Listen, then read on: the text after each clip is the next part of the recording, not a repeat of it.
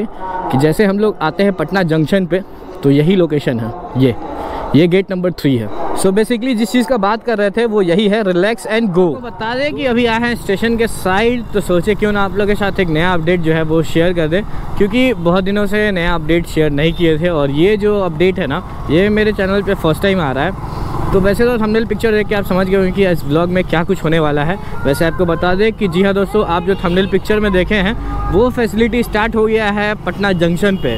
जैसा कि हम पढ़े हैं बट अभी तक देखे नहीं हैं। तो चलते इंक्वायरी करते हैं, क्या, कहाँ पे स्टार्ट हुआ है, किस लोकेशन पे है पटना जंक्शन पे, और क्या प्राइस लगता है, क्या कुछ फैसिलिटी है, क्या टाइमिंग है, हर एक डिटेल जो है, वो कोशिश करेंगे इस ब्लॉग में आप लोग के साथ शेयर करने का। तो कुछ नहीं करना, आपको इस ब्लॉग में बने रहना है और सामने में पटना जंक्शन है। तो बस लगभग पहुँच चुके हैं पटना जंक्शन। तो चलते हैं, देते हैं एक नया अपडेट, क्योंकि ये जो अपडेट है ना, ये अभी तक फ़िलहाल तो हम कहीं यूट्यूब पे नहीं देखे हैं, वैसे न्यूज़ में पढ़े थे। तो टाइम नहीं मिल पा रहा था, इस वजह से ये ब्लॉग नहीं बना पा रहे थे। तो आज जैसे इस साइड आए हैं तो सोचे क्यों ना आप लोग के साथ ये ब्लॉग शेयर कर दिया जाए। तो आ गए हैं स्टेशन गोलम्बर ओह वैसे अभी फेस्टिवल का टाइम है तो बहुत लोग घर की तरफ़ निकल रहे हैं। इस वजह से जंक्शन पे जो है, वो अच्छा खासा ट्रैफ़िक देखने को मिलेगा, क्योंकि अच्छा खासा लोग जो है, वो शहर से अब गाँव की तरफ़ जाएँगे, क्योंकि आप लोग, सब लोग जान रहे हैं कि महापर्व छठ पूजा आ गया है, और छठ पूजा का जो टाइम है, वो स्टार्ट हो गया है, और उसका तैयारी अभी ज़ोरों से चल रहा है। उसका तैयारी आपको बता दें कि दिवाली के नेक्स्ट डे से ही स्टार्ट हो जाता है, और ये रहा अपना पटना जंक्शन खूबसूरत पटना जंक्शन जो कि पहले से काफ़ी चेंज हो गया है, काफ़ी खूबसूरत हो गया है। और अब चलेंगे हम लोग, देखेंगे क्या कुछ नया नया चीज़ देखने को मिलता है पटना जंक्शन पर तो वैसे तो हम पढ़े थे गेट नंबर तीन के पास है। गेट नंबर तीन कौन सा है, वो चल के देखते हैं अभी हम लोग। गेट नंबर थ्री कहाँ है? किस लोकेशन पे है गेट नंबर थ्री? ये कौन सा gate number four? Gate number four है भाई साहब। ये तो गेट नंबर फोर है, यहाँ नहीं है गेट नंबर थ्री पे है।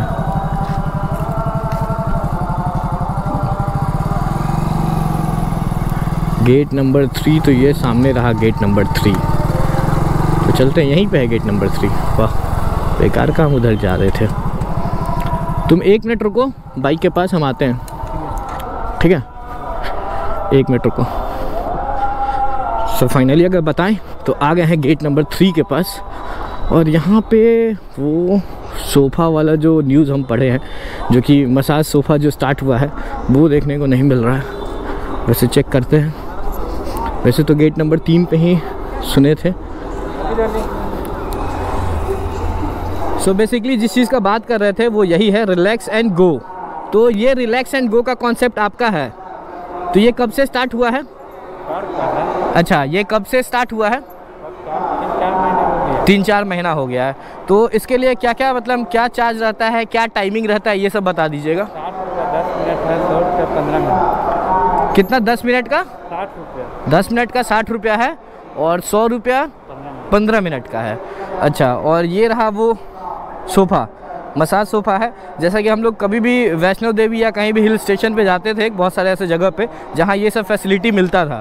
तो पटना जंक्शन पे ये फ़र्स्ट टाइम आया है और धीरे धीरे पटना जंक्शन जो है, वो हाईटेक होते जा रहा है। तो कुछ कुछ हाईटेक होने के लिए कुछ कुछ फैसिलिटी को बढ़ाना पड़ता है तो उसमें से एक फैसिलिटी ये भी हम लोग के साथ है। क्योंकि बहुत लोग ऐसे हैं जो ट्रैवलिंग करके थक जाते हैं और उनको और भी ट्रैवल करना होता है तो रिफ़्रेश होने के लिए काफ़ी अच्छा ऑप्शन है।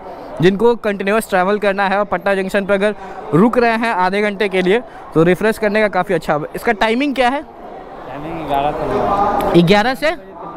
सुबह ग्यारह बजे से रात के नौ बजे तक टाइमिंग है। इसी टाइम में ये चलता है। चलिए बढ़िया है। एक छोटा सा अपडेट था वही शेयर करना था। बढ़िया लगा मिलके। चलिए। तो यही है वो स्पॉट और ये किस लोकेशन पे है ये भी आपको बता दें। ऑटोमेटिक मशीन द्वारा संपूर्ण body massage relax and go body massage है। और 10 मिनट का साठ रुपया कॉस्ट है और 15 मिनट का सौ रुपया कॉस्ट है। और ये जैसे हम लोग अगर पटना जंक्शन में एंट्री करते हैं, ये गेट नंबर थ्री है। तो जैसे एंट्री करते हैं तो यहीं पर ये स्पॉट पर है। तो अभी हम लोग चलते हैं बाहर की तरफ़ और ये एक छोटा सा अपडेट था जो आप लोग के साथ शेयर करना था। वैसे गेट नंबर थ्री कौन सा है, ये भी आप लोग को दिखा देते हैं। सोचे क्यों ना आए हैं तो छोटा सा ब्लॉग आप लोग के साथ शेयर कर दें। वैसे आपको बता दें कि जैसे हम लोग आते हैं पटना जंक्शन पे तो यही लोकेशन है। ये ये गेट नंबर थ्री है।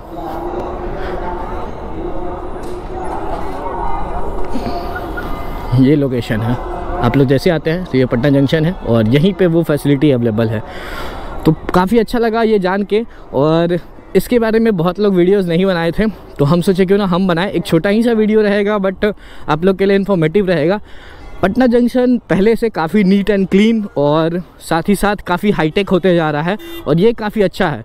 मतलब हमारे पटना वासियों जो भी पटना, बिहार में जो भी ट्रैवल करते हैं, पटना जंक्शन से उन लोग के लिए काफ़ी बेस्ट है। इस ब्लॉग को यहीं एंड कर देंगे। एक छोटा सा ब्लॉग रहेगा, क्योंकि इस साइड आए थे तो सोचे एक आप लोग के साथ इन्फॉर्मेशन शेयर कर दें। और बस कुछ नहीं, आप लोग बस वीडियोज़ पर प्यार बनाए रखिए, अपने भाई को प्यार दीजिए ढेर सारा। और अपने भाई को सपोर्ट कीजिए। वैसे मेरा चैनल का जो है, वो टेन के कंप्लीट हो गया है तो थैंक यू सो मच आप लोग के सपोर्ट के बिना ये पॉसिबल नहीं था, और आप लोग के सपोर्ट के से ही ये टेन के हुआ है, और आने वाले टाइम में हंड्रेड के भी हो जाएगा, अगर आप लोग का सपोर्ट और प्यार बनाए रखे तो। तो चलते हैं अपने काम की तरफ़ बैक टू वर्क और आज का ब्लॉग यहीं एंड कर देंगे। मिलते हैं जल्दी नेक्स्ट ब्लॉग में, तब तक के लिए बाय बाय